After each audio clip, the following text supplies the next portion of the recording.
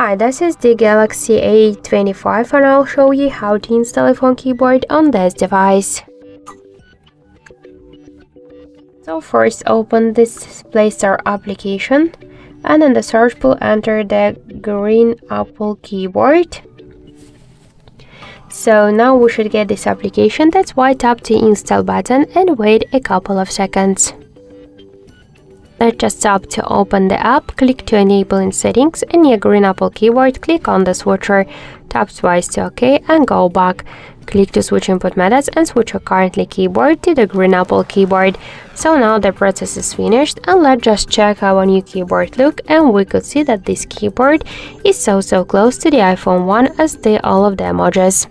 So that's it, thank you for watching and if you like this video, leave thumbs up and subscribe.